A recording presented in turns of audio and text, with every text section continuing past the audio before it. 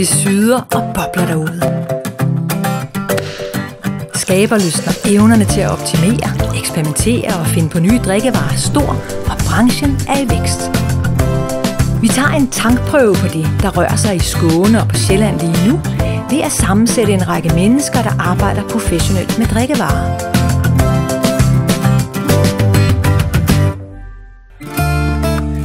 Tager på studietur i Greater Copenhagen-geografien for gensidig udveksling, inspiration og netværk. Først går turen til Kullerhaløen. Vi starter på Kullerbergs vingård. Vi ska göra världsklassvin och vara med och sätta svensk vin på världskartan. Det är vårt, eh, vårt mål. Och vi har faktiskt 10 hektar nästan vinproduktion. Du behöver lite kvantiteter för att ha råd med bra maskiner, eh, ha råd med bra vinmakare eh, som, som liksom kan verkligen det här sensoriska och, och så. Ju. Eh, så att kvalitet och kvantitet hänger ihop någonstans där och exakt var brytgränsen är det, det, det vet vi inte riktigt än. Men vi jobbar, vi, jobbar, vi ska väl nå lite till tänkte vi. Jag är vinbonde nu, eh, men det var inte så det började. Egentligen var jag, var jag logistiker och ölkille från början. Eh, Men så kom jag i kontakt med, ehm, eh, med de som äger vingården här och tyckte det var eh, en fantastisk utmaning att vara med och driva ett sånt här ställe. Vi är väldigt medvetna om att det är en ganska lång vision, att vi har ganska mycket att jobba på. Eh, Men eh, vi ska dit, det ska inte vara för enkelt. Eh, Och vi har faktiskt eh, kommit en bra bit på vägen. So here, eh, the majority is grown with Solaris grapes. That's a grape that's adapted to cool climates and also quite disease resistant. And that has the advantage that they don't need to use pesticides, so it's more ecologically friendly as well. I'm very interested to see what uh, Skåne and Sweden will do in the future with wine growing because I think it's a great opportunity to be a leader in terms of a climate friendly wine region. Sen man får säga vad man vill, för smaken är personlig så att det kan, kan aldrig vara fel. Nu är det eh, andra året i rad eh, som vi vinner pris i International Wine Challenge. En väldigt, eh, det är en fantastisk tävling att vinna pris i helt enkelt. Eh, och vi har vunnit eh, medalj igen. Eh, och det är fantastiskt för på något vis är det någon, någon som säger att det här är bra vin eh, ni har gjort utifrån en internationell standard. Eh, så det är en väldigt bra stepstone på väg mot att göra svenskt världsklassvin. Tre kilometer derfra ligger Ejls Vingård, der både er hotel, restaurant og vinproducent. Vi startade 2007 med att odla vin och eh, innan dess så köpte vi gården 1997. Efter tio år så var vi beredda på att göra någonting nytt och då så kom jag på den briljanta idén att vi skulle börja odla vin. Och min man han tyckte att det var en bra idé så han hängde på och eh, eftersom min man kör på ganska hårt när han väl kör så, så sa han att då ska vi göra det rejält. Får vi platsen i huvudet?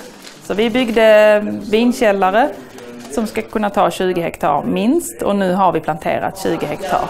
Då har vi kommit in i vinkällaren.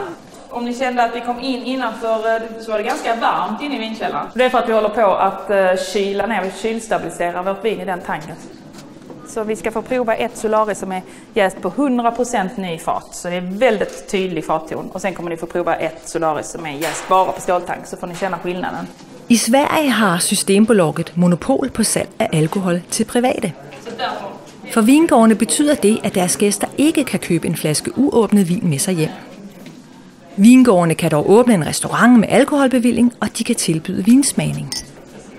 Det första vinet ni har, det är ett tankjäst vitt vin på druvan Solaris.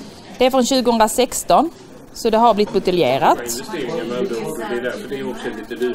Här är två jättespännande viner som är vinifierade på exakt samma sätt. Båda är på 100% Solaris. Den ena är supersyrlig, det är nästan som att dricka citronjus. Alltså det är, det är, så, det är så speciellt. Alltså, och med ett så väldigt extremt vin så kan man göra riktigt coola matkombinationer. Här har vi egentligen samma vin, men det här vinet har legat på ekfat, nya ekfat. Så det är super, super, super mycket ek. Spännande grejer. Vi är ju en sån ung nation vad gäller vinodling i Sverige. Vi är 40-50-tal eh, vingårdar och nästan alla har olika ambitionsnivåer och man har olika specialiteter. Och det gör det här väldigt spännande. Här i Kullabygden där vi är fem stycken vingårdar idag så samarbetar vi naturligtvis väldigt nära. Vi kämpar exempelvis för det här med gårdsförsäljning. Det er et stort problem for producenterne af alkoholiske drikkevarer i Sverige, at de ikke må sælge direkte til forbrugerne. Men i Höganäs kommune arbejder man sammen om en løsning. Vår kommun har ju då tillsammans med vinbönderna skickat in ansökningar till regeringen i Sverige att till att börja med få försök, på försök göra detta och vi då ska se om det blir några problem med folkhälsan för det är ju det som är argumentationen till att vi har ett monopol i Sverige. Trods systemet med Systembolaget er vindyrkning i Skåne i vækst. Det samme gælder for andre typer af drikkevarer. Vi ser ju bland annat att drycken på riktigt har tagit fart. Det är den enda branschen eh, som på riktigt eh, ökar och, och har en, en eh, tillväxt i Skåne. Fler arbetsplatser inom dryck och så vidare. Vi ser nya produkter, vi ser alkoholfria som är det nya. Väldigt spännande att följa utvecklingen. Her gælder det safter af for eksempel æblemost og humle. Jag har haft som målsättning att så här, nå den goda gastronomin, eh, Ehm, den goda måltiden. Inte för att vara pretentiös utan helt enkelt för att få en chans att komma ut och förhöja den alkoholfria upplevelsen. Så jag vill åstadkomma en elegant dryck som ska vara elegant i, eh, i glaset. Eh, när andra dricker alkoholhaltiga drycker så ska man då få i glas någonting som är estetiskt tilltalande. Det här ni kommer få smaka och som är det första verkliga eh, produkten då i, i den här satsningen, det är en alkoholfri dryck. En eh, dryck som jag säger siktar på den goda måltiden, en utpräglad matdryck. Jag har jobbat hårt för att reducera den naturliga sötman eh, i drycken så att det är en halvtorr dryck med pigg syra. Så den fungerar faktiskt som funktion utmärkt med mat. Genom att utveckla och producera exceptionella drycker från råvaror då med logik från vår plats ska odlarna fokusera på eh, smak och sort eh, snarare än kvantitet. Æblemost er også basen i cider. Den rene håndværksmæssigt fremstillede vare af 100% æblemost er på vej ind i varmen. Her er tre af Sveriges bedste ciderer, udvalgt af en forening for ciderens fremme. De to er fra Skåne, og en er fra Kullabergs vingård. Den första som jag har i glaset, eh, den är slående ljus i färgen. Den är nästan som ett väldigt, väldigt eh, ljust, eh, lätt vitt vin. Har nästan, eh, går nästan åt det gröna hållet. Det är svårt att, det är svårt att, att, att dra parallellen till äppelmust. Färgen överraskar verkligen. Och det gör doften också. Här är en stor fruktighet. Här är en eh, komplexitet. Eh, tankarna går till eh, eh, mogen gul frukt, kanske till och med lite exotisk frukt. Eh, jag associerar till eh, mirabeller, gula plommon. ehm, Kanske till och med lite grann åt godishållet. Eh, Skumbanan, någon sorts eh, syrliga persikor. Det är nästan svårt att tro att detta är en äppelcider. Det, det är väldigt vinlikt.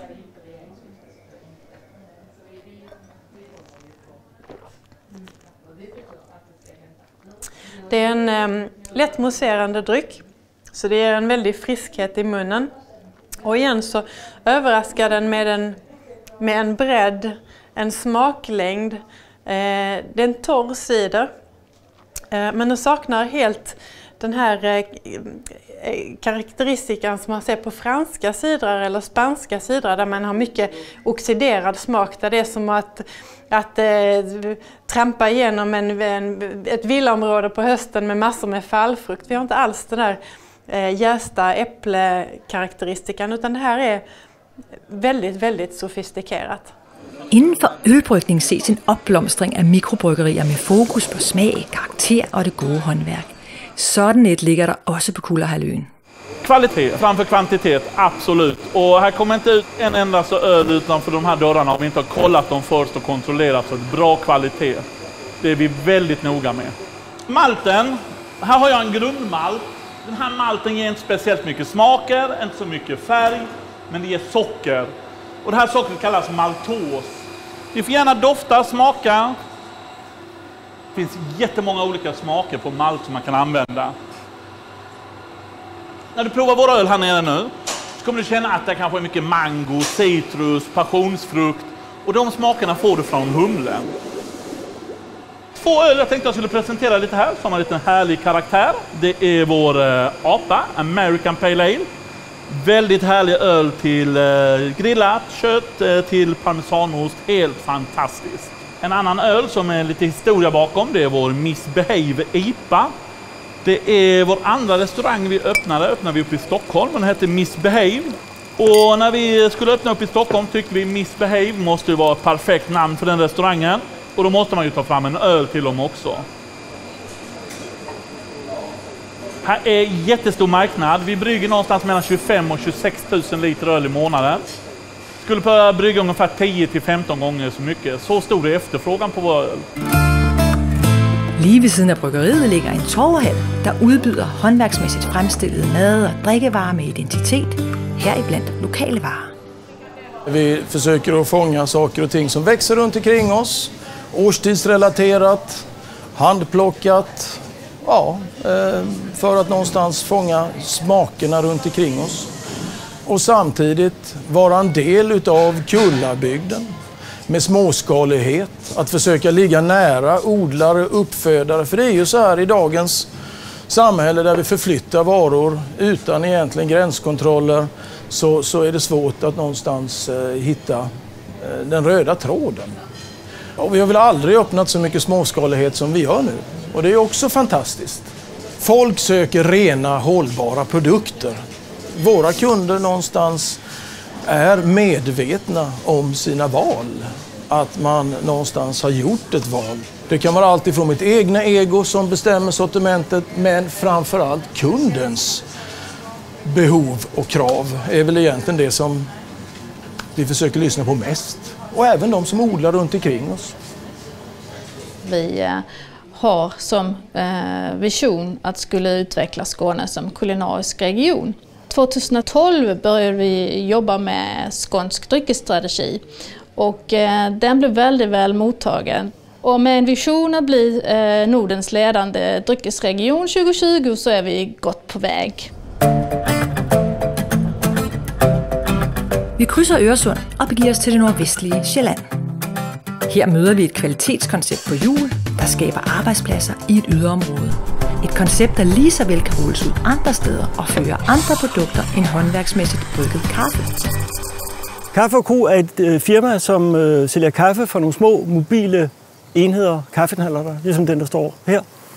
Vi startede virksomheden med den idé, at vi skulle lave nogle arbejdspladser. Og øh, det gør vi ved at øh, uddanne folk til at lave den kaffe, vi gerne vil lave. Og så sætte dem ud og arbejde ved en kaffehandler. Og vi kan faktisk lave mange arbejdspladser, fordi der er mange timer i hver kaffehandler. Og hvor svært kan det lige være at lave en kop kaffe? Så vi købte fire af de her knallerter vi vækster med cirka 100 procent, og vi har vel cirka mellem 9 og 10 mennesker tilknyttet virksomheden som timelønnet personale i øjeblikket. Jeg har aldrig nogensinde haft et bedre arbejde. Det øh, er hårdt arbejde, som det altid er, når man taler med iværksættere. Men det er også sjovt, det er spændende, og den største glæde for mig er at se nogle medarbejdere, som også vækster, og som er glade, og som sætter pris på deres arbejde. Og nogle kunder, som øh, sætter pris på den kaffe, vi laver, fordi vi har udviklet et koncept omkring den måde, vi laver kaffe på, så vi laver den bedste kaffe i Miles omkreds. Den store smag er en fællesnævner for turens producenter. Men også landskabsmæssigt minder de udvalgte områder om hinanden – har af sydvendte skråninger og nærhed til havet og mange solskinstimer. Det giver optimale forhold for vindyrkning i vores del af verden. Vi er fremme ved Ørnbergvin, der blev etableret i 2007. Vi driver 10.000 vinstok her sammen på Sjællands Øje, og vi havde en idé om, at det ville være et af de bedste, bedst egnede steder for at, at, at dyrke og lave vin i Danmark. Vi plantede fire sorter, som øh, faktisk viste sig at moden super godt. Og øh, målsætningen har hele tiden været, og det mener vi også skal være dansk vins målsætning, at vi skal lave tørre øh, hvide vine, enten stille eller muserende, øh, og nok med hovedfokus på de museerne, men i det, man kalder øh, cool climate øh, eller kølig vinstil. Og det vil sige, at vi kan lave vin med meget, meget fine og høje syreprofiler, øh, Måske ikke så kraftige og komplekse vine, men til gengæld meget sprøde, øh, meget elegante og, og meget naturligt syrlige, øh, spændende vine. Mulighederne for at lave vin i Danmark er meget, meget bedre, end vi forestiller os. Vi kan lave søde dessertvin, vi kan lave velsmagende museerne vin, vi kan lave kraftige hvidvin, vi kan lave lette, sprøde, elegante, kølige hvidvine. Vi kan virkelig lave aroma heroppe nu på. Så den her hedder sort, og den, den er også meget dyb og mørk. På et tidspunkt havde man jo meget det udtryk med det nye sort. Og, øh, og hvad skal vi kalde dem? Sort, det mener vi, det må være et dansk ord. Men øh, skål. Grunden til, at vi laver vin her, det er, fordi vi kan forstærke smagsindtrykkene. Vi kan forstærke årsvariationen. Vi kan forstærke jordbunds- eller geologiudtrykket i vores vin, fordi vi har den her kolde, langsom modning. Og den kolde, langsom modning, det er fundamentet for alt smag i fødevareproduktionen.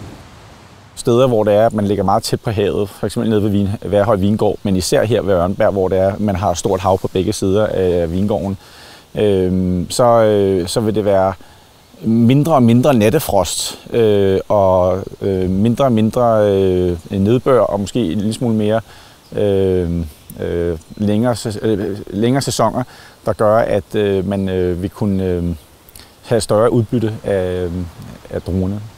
Der, hvor jeg ser, at det kunne være sjovt, det er at se, hvordan øh, en vinsort, der er tilpasset nogle varmere klimater, øh, kan tilpasses nogle jordtyper, som ikke nødvendigvis findes der, hvor de oprindeligt kommer fra. Øh, og det er der, hvor det er, at vi kan skabe noget unikt. 30 km sydligere satte Værhøj Vingård i 2011 deres første vinstokke og driver i dag 3 hektar med i alt 10.000 stokke. Vi dyrker druer her i Odshavet ved foden af Værhøj, øh, og af de druer, der laver vi vin. I det øjeblik, man skærer toppen af, så reagerer planten lidt, så begynder den at lave sideskud. Vi har 95% grønne druer, laver hvidvin, og af de blå druer lidt rosévin. Øh, så har vi museerne vin også. Når man laver museerne vin, så øh, er tricket til at få mussen eller skummet i vinen, det er øh, at lade en gæring foregå på flaske. Den næste lille udfordring, der så kommer ud af det her, det er, at gæren, når den er færdig med at lave sukkeret om til alkohol, ja, så dør den, og så lægger den sig som en bærme i vinen. Man sørger så for at vende flasken i en kontrolleret proces, hvor gæren, der kan klistre lidt til flaskesiderne, kommer til at glide ned øh, og lægger sig på toppen af den kapsel, der lukker vinen. Og så tager man flasken og fører den i en rolig bevægelse opad, og i det øjeblik, den boble, der er i flasken, er lige ved at nærme sig toppen, så åbner man flasken. Trykket i flasken tager så en lille smule væske ud, sammen med de døde gærsætter, og så har man den rene, klare vin, øh, som man kan drikke med det samme. Museerne vin, der lige er åbnet, er meget fortryllende frisk. Vi har fået foden ind på nogle vinbarer i København, øh, og det er jo en, en øh, fantastisk ny scene af, af rigtig vininteresserede folk, som går ud for at smage forskellige vin og øh, er parat til at eksperimentere med forskellige typer af vin. Øh, og der, der har den danske vin også sin plads øh, på vinbarerne derinde. Ganske tæt på ligger Dragsholm Slot. Års målrettet arbejde har bragt Michelin-status til gourmetrestauranten Slotskøkkenet. Dragsholm Slot er en motor for udvikling af gastronomi og lokale fødevarer. Min øh, primære funktion er at øh, konceptudvikle, sørge for, at vores øh, terroir-tanke den, øh, den er igennem hele huset. Øh, og øh, sørge for, at vi har en, øh, en drikkevareprofil, der matcher vores, øh, vores køkkenstil, som er grøntsagsbaseret, øh, urtebaseret, og egentlig drejer sig om, at vi egentlig bare bruger det, som er omkring os. Her står vi øh, i vinmarken, som er anlagt for tre år siden, og øh, det er først i år, den sådan rigtig skal vise, hvad den, hvad den kan. Det var egentlig øh, Ørnberg, der inspirerede os rigtig meget til at lave den her øh, vinmark som er øh, plantet med øh, Pinot Noir eller Pinot Précoce, som er sådan en, en, en fryburgunder-type, som modner sådan lidt nemmere end, øh, end så mange andre druer.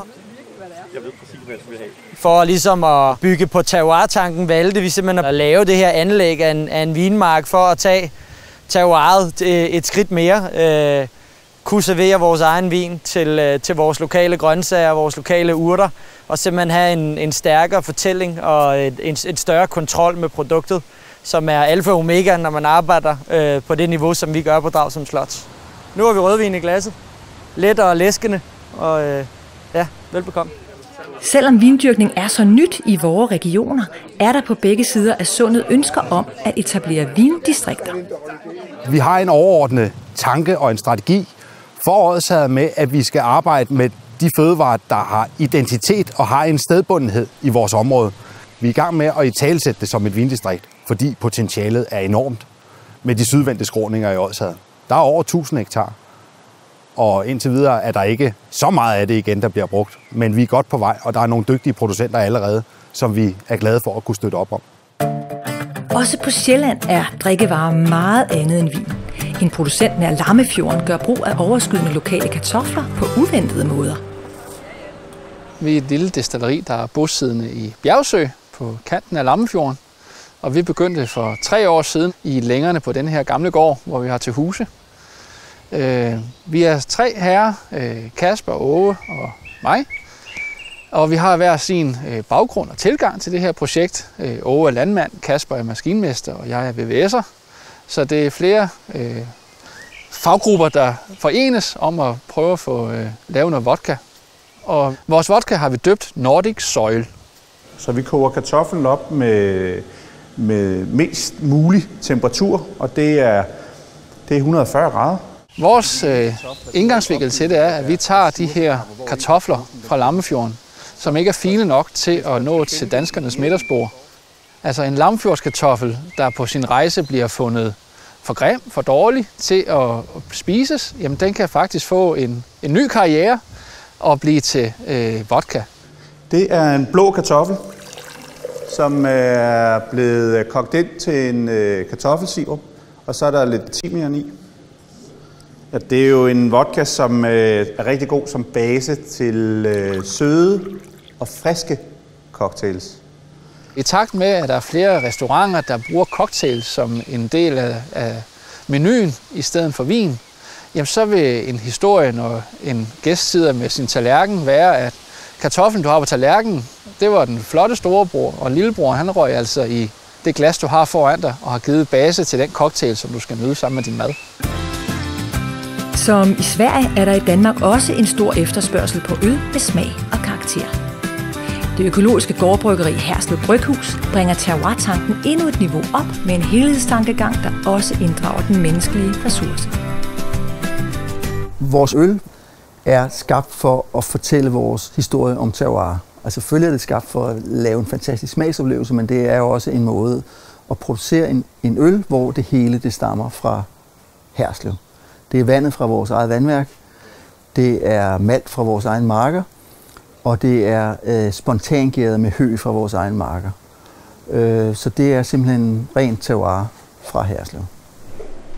For at kunne konkurrere, så skal man have nogle produkter, der fortæller ens historie. Nogle, hvor, hvor det er tydeligt for forbrugeren, hvad man står for. Så det er ikke nødvendigvis det, man sælger mest af, men det er der, hvor man kan fortælle og forklare og kommunikere med, med dem, der skal drikke øllet for vores vedkommende. At have den her øh, helhedstankegang, det går ud på, at man ikke ser sin egen produktion adskilt fra resten af samfundet, men at man ligesom er en del af det omkring en. Det vil sige, at man øh, samarbejder med dem, der er med en. Man, øh, man er samarbejder med naturen i en økologisk tankegang, men også mere i en tankegang med, at man skal ligesom føre noget tilbage øh, til det. Man skal, man skal belaste naturen mindst muligt. Øh, man skal samarbejde med de folk, der er omkring en. Så man ser det hele som en del af noget større. Man kan både riste det sort, man kan riste det, så man får smagen af... Det sociale terroir, det er jo det, at, man, øh, at der skal være plads til de svage unge, øh, de svage i det hele taget, der, men der er også det, at, at ens medarbejdere sætter, sætter, sætter karakter på ens produkt, ens kunder er med til at skabe ens produkt. Man er socialt sat et sted i verden, og det er det, der skaber ens smag. Vi har nu mødt en række innovative producenter, der brænder for det lokale og den gode smag, og som satser på kvalitet til en stigende skare af bevidste forbrugere. Her slutter vores studietur, vores tankprøve, på noget af alt det, der syder og bobler derude. Turen har skabt netværk og givet nye kontakter. Jag ser att deltagarna engagerar sig jättemycket i varandras eh, verksamheter. Man byter visitkort och man får idéer och man pratar med varandra. Så ibland är det som att de andra deltagarna är lika inspirerande som det är att komma ut och se en eh, ny verksamhet. At bringe fagfolk sammen giver udveksling, ny viden og inspiration. Och ölen här på Hässler är ju fantastiskt. Eh, har, har, har idag mött något som bara fortfarande snurrar i, i, i huvudet. En, en öl som då inte är humlar utan som har haft eh, en höbal i sig och eh, gett en fantastisk eh, syra och uttryck som jag inte har mött. Så att nu ska jag hem, hitta en bal med hö och inte göra öl men eh, göra en, en, en dryck. Studieturen har givet vidensdeling och inblick bland aktörer i en drikkevarebranche i udvikling. Hvordan und fremtiden kommer til at se ud. Nu har jag haft ett par eh, dagar när vi har rest runt i nordvästra Skåne och så i nordvästra Själland får man väl ändå säga. Och att eh, komma ut ur stan, jag är ändå baserad i Malmö, men att komma ut ur stan och komma ut på landet och se vad det är som händer i de här regionerna, det är väldigt, väldigt intressant. Dels har det, har det gjorts en, en väldigt lång resa och vi har en lång väg kvar. Men det är otroligt inspirerande att se vilka initiativ som har tagits och vilka ambitioner som finns. Eh, Och nu så börjar vi få fram några nya, väldigt, väldigt intressanta produkter. Och eh, nästa år då kommer det vara ännu bättre. Om fem år då kommer det vara ännu bättre. Om tio år så kommer det här vara i världsklass.